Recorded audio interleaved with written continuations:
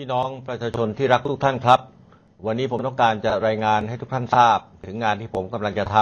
ำและบทบาทสำคัญของพวกเราทุกคนที่เป็นคนไทยนะครับ ในช่วงสัปดาห์ข้างหน้านี้ ก่อนอื่นผมขอถือโอกาสวันปีใหม่ไทยที่เพิ่งผ่านพ้นไป กล่าวสวัสดีนะครับ วันปีใหม่ของไทยกับคนไทยทั้งประเทศ ผมขอให้ทุกท่านได้มีสุขภาพกาย สุขภาพใจที่สมบูรณ์แข็งแรง และผมหวังว่าทุกท่านจะมีความสุขในวันสำคัญอีกวันของคนไทย นั่นก็คือวันครอบครัวนะครับสำคัญเป็นอย่างยิ่ง ถึงแม้ว่าปีนี้นั้นจะแตกต่างไปจากทุกปีที่ผ่านมา แต่ก็ยังเป็นวันสงกรานต์และวันครอบครัวที่มีความหมาย เพราะเป็นช่วงเวลาที่ทำให้เราได้เห็นว่าสิ่งที่มีค่ามากที่สุดในชีวิตของเรานั้นก็คือครอบครัว ไม่ว่าเราจะต้องเจอกับปัญหาใดๆก็ตาม คนที่อยู่เคียงข้างเราก็คือพ่อแม่ พี่น้องและลูกหลานของเรา ปีนี้ครอบครัวของพวกเราใหญ่ขึ้นกว่าเดิม มากกว่าเพียงแค่ญาติพี่น้องทางสายเลือด แต่ครอบครัวของเรานั้นคือเป็นคนไทยทั้งประเทศ ที่อยู่รอบข้างเรา 70 ล้านคนนะครับ ในช่วงวิกฤตนี้ ก็คงมีแค่พวกเรากันเองในครอบครัวไทยเท่านั้น ที่จะอาศัยพึ่งพากันได้ ที่จะช่วยกันบรรเทาความทุกข์ร้อน และความยากลำบากที่ทุกคนต้องเผชิญร่วมกัน อย่างเช่น คนแปลกหน้าที่ซื้ออาหารมาแบ่งปันให้เราได้อิ่มท้อง แบ่งเบาภาระให้เราอยู่รอดต่อไปได้ นี่คือความหมายของการเป็นครอบครัวเดียวกันนะครับ ปัจจุบันประเทศไทยของเรากำลังอยู่ในภาวะการที่ตึงเครียดที่สุดกำลังทำลายชีวิตและการดำรงชีวิตของคนไทยจำนวนมาก อย่างที่ไม่เคยเกิดขึ้นมาก่อน เมื่อถ้ามองไปทั่วโลกเราก็เห็นได้ว่าวิกฤตโควิดได้ก่อให้เกิดความเสียหายมากมาย โดยไม่สนใจว่าจะเป็นประเทศร่ำรวย ประเทศยากจน หรือประเทศมหาอำนาจ ปัจจุบันหลายประเทศ ทั้งในภูมิภาคตะวันตก ยุโรปและอื่นๆ รวมถึงประเทศที่มีการพัฒนาสูงสุด ก็มีผู้ติดเชื้อเป็นจำนวนมาก และมีจำนวนผู้เสียชีวิตเป็นหลักหมื่น โดยผู้เชี่ยวชาญยังคาดการว่า ตัวเลขผู้เสียชีวิตอาจพุ่งสูงไปถึงหลักแสนต่อไปในอนาคต ซึ่งความเสียหายที่เกิดขึ้นนี้ ไม่เพียงเกิดขึ้นกับชีวิตของผู้คนเท่านั้น แต่ยังเสียหายไปถึงการทำงาน การค้าขาย และการทำมาหากิน ที่เกือบจะหยุดชะงักทั้งหมด ที่จึงเป็นภาวะวิกฤตครั้งใหญ่ ที่ทุกรัฐบาลจำเป็นต้องดึงศักยภาพที่ดีที่สุดออกมาให้ได้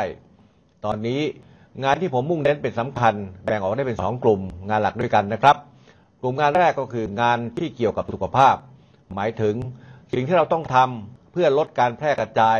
ของโรคโควิด -19 และเพื่อเพิ่มความสามารถในการรักษาผู้ติดเชื้อ กลุ่มงานที่สองก็คืองานเกี่ยวกับการช่วยเหลือพี่น้องประชาชน ให้มีเงินเพียงพอต่อการดำรงชีวิต ผ่านมาตรการและความช่วยเหลือต่างๆ ซึ่งผมได้มอบหมายให้กระทรวงการคลัง เป็นหน่วยงานหลักในการคิดและปฏิบัติมาตรการต่างๆ ให้มีประสิทธิภาพ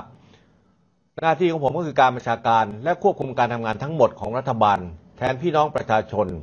ผมต้องเป็นผู้นำให้ทุกกระทรวง ทุกหน่วยงาน ได้ทำหน้าที่อย่างถูกต้องเหมาะสมและมีประสิทธิภาพ ผมทราบดีถึงความกังวลของพี่น้องประชาชน เกี่ยวกับมาตรการเยียวยา 5,000 บาท และมาตรการอื่นๆ ของกระทรวงการคลังและกระทรวงอื่นๆ ผมไม่ได้นิ่งนอนใจนะครับ วันนี้ผมได้สั่งการเรียกรัฐมนตรีว่าการกระทรวงการคลัง และผู้เกี่ยวข้อง ได้เข้ามาพบผมเพื่ออธิบายถึงที่มาที่ไป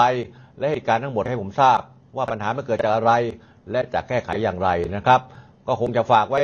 ให้ติดตามนอกจากเงิน 5,000 บาทแล้ว ช่วยไปติดตามงานของหลายกระทรวงด้วยกันนะครับ ที่มีมาตรการช่วยเหลือออกมาเกือบทุกกระทรวงนะครับ เรียกว่าทุกกระทรวงช่วยเหลือก็เต็มที่นะครับ โดยภาครัฐจะเข้าไปดูแลในกลุ่มเป้าหมายของตัวเองนะครับ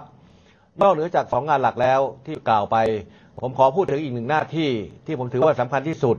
และเป็นหน้าที่ที่คนไทยทุกคนจะต้องมีบทบาทร่วมกันกับผมนะครับ หน้าที่สำคัญนี้ก็คือเราจะสร้างประโยชน์ให้เกิดขึ้น ได้มากกว่าที่ผ่านมาหลายเท่าได้อย่างไร มันเป็นหน้าที่ที่เกี่ยวข้องกับวิธีการทำงานของเรา ถ้าเราต้องการจะชนะสงครามกับไวรัสโควิด -19 ให้ได้ หน้าที่นี้ ต้องเริ่มมาจากการยอมรับความจริง เราต้องยอมรับจุดแข็ง จุดอ่อน ข้อจำกัดของตัวเอง ความคิดที่แตกต่างด้วยนะครับ เราต้องยอมรับว่าปัญหาความเสียหายที่เกิดจากไวรัสโควิด -19 นั้นจะแก้ไขได้ โดยความร่วมมือระหว่างรัฐบาลกับภาคส่วนต่างๆ และเราคงต้องยอมรับว่ารัฐบาลเพียงฝ่ายเดียว คงไม่สามารถหาคำตอบให้กับทุกปัญหาได้ คนกลุ่มอื่นและภาคส่วนอื่น ก็อาจจะมีคำตอบที่ดี และมีความคิดที่ดีได้ด้วยเช่นเดียวกัน วิกฤตโควิด ครั้งนี้ใหญ่และซับซ้อนมาก หน้าที่ของเราจึงต้องต่อสู้ไปด้วยกัน แบบเป็นหนึ่งเดียวทั้งประเทศ เราทุกคนจะต้องเป็นทีมประเทศไทยด้วยกัน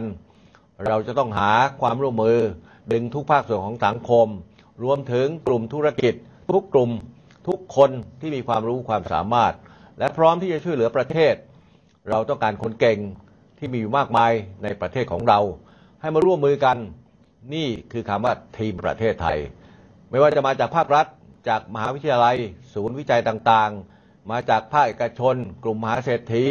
หรือพี่น้องประชาชน ที่ยอมเสียสละตัวเอง เข้ามาร่วมกันต่อสู้เหมือนกับที่ทำกันอยู่ทุกวันนี้ ร่วมกับกลุ่มบุคลากรทางการแพทย์ สาธารณสุข และอาสาสมัครมากมาย ได้เสียสละตัวเองอย่างกล้าหาญ ผชิญความเสี่ยงเป็นเสี่ยงตายอยู่ทุกวัน เพื่อช่วยรักษาชีวิตของผู้อื่น ผมทราบดีนะครับ ว่าหลายภาคส่วนในทีมประเทศไทย ได้เริ่มลงมือทำอะไรที่สำคัญ และมีประโยชน์ไปแล้วหลายอย่าง แต่วันนี้ผมต้องการเพิ่มความร่วมมือกับท่านทั้งหลายให้มากยิ่งขึ้น โดยเริ่มที่ภาคเอกชนก่อน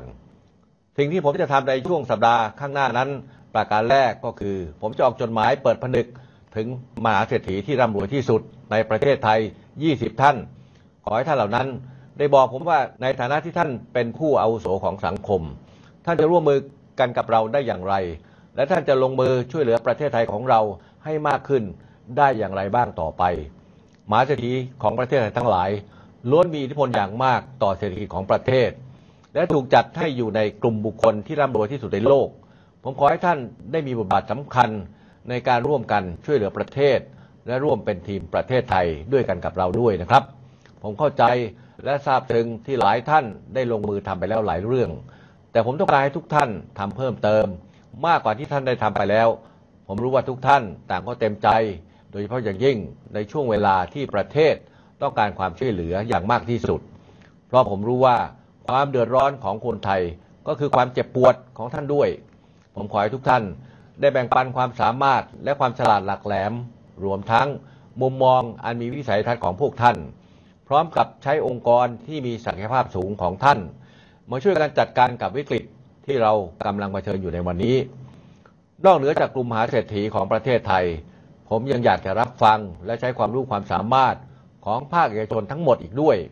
ดังนั้นสิ่งที่ผมจะทำในช่วงสัปดาห์ข้างหน้า ประการที่สองก็คือ ผมจะไปพบกับสมาคมภาคธุรกิจ ไม่ว่าจะขนาดกลางหรือขนาดเล็ก เพื่อรับฟังพวกท่านด้วยตัวของผมเองโดยตรง ไม่ต้องผ่านหน่วยงานใด เพื่อให้ผมจะได้รับทราบถึงสถานการณ์ที่แท้จริง ผมต้องการเข้าถึงความรู้ ความสามารถขีดความสามารถของท่าน และความเชี่ยวชาญอันหลากหลายของภาคเอกชน นอกจากนี้ ผมต้องการรับฟังความคิดเห็น ข้อเสนอแนะ ความต้องการ และความท้าทายที่ทุกคนกำลังเผชิญอยู่ ผมต้องการรับฟังว่าพวกท่านต้องการที่จะร่วมมีบทบาทในการแก้ปัญหาครั้งนี้อย่างไร รวมทั้งสิ่งที่ท่านได้ทำไปแล้ว และสิ่งที่ท่านจะช่วยเราทำกันต่อไปนะครับ และที่สำคัญผมต้องการได้ยินความคิดเห็นของพวกท่าน ว่ามีจุดใดบ้าง ที่รัฐบาลควรจะทำงานให้มีประสิทธิภาพมากยิ่งขึ้นกว่าเดิม แน่นอนนะครับว่าเป็นหน้าที่และความรับผิดชอบของรัฐบาล ที่ต้องช่วยเหลือคนไทยทั้งประเทศ แต่เราสามารถจะขยายแรงกำลังในการช่วยเหลือให้ใหญ่ขึ้น ได้ด้วยความร่วมมือกันกับภาคเอกชน ที่มีทรัพยากรมาก มีวิธีการทำงาน และมีวิธีการเข้าถึงผู้เดือดร้อนได้อย่างรวดเร็วและคล่องตัว โดยเฉพาะอย่างยิ่ง หากรัฐบาลจะเข้าไปช่วยอำนวยความสะดวกให้เกิดประสิทธิภาพมากยิ่งขึ้น ในสถานการณ์เช่นนี้จะมีความคิดเห็นที่หลากหลาย แม้กระทั่งในกลุ่ม ผู้ที่มีความรู้ความเชี่ยวชาญด้วยกันเอง ก็ยังมีมุมมองการแก้ไขปัญหาที่แตกต่างกันออกไป ผมเห็นว่าเป็นสิ่งที่เป็นประโยชน์นะครับ ผมอยากจะรับฟังทุกท่านเพื่อช่วยกันหาทางออกที่เหมาะสมที่สุด ผมเชื่อมั่นว่า ความคิดเห็นของท่านทั้งหลาย แม้จะมีความแตกต่างกันอยู่บ้าง แต่ล้วนเกิดจากความรักชาติและความปรารถนาดีต่อประเทศทั้งสิ้น และเมื่อเราเลือกที่จะปฏิบัติทางใดทางหนึ่งแล้ว ก็ขอให้ทุกคนได้รวมมือกัน สนับสนุนเพื่อช่วยกันผลักดันให้เกิดความสำเร็จตามที่เราต้องการ ผมขอให้พวกเราทุกคนทำงานร่วมกันเป็นครอบครัวเดียวกัน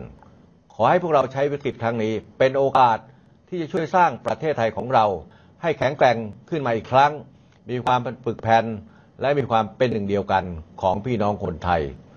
ในช่วงเวลาที่ประเทศของเรากำลังตกอยู่ในสถานการณ์ที่ยากลำบาก ขอให้พวกเราทุกคน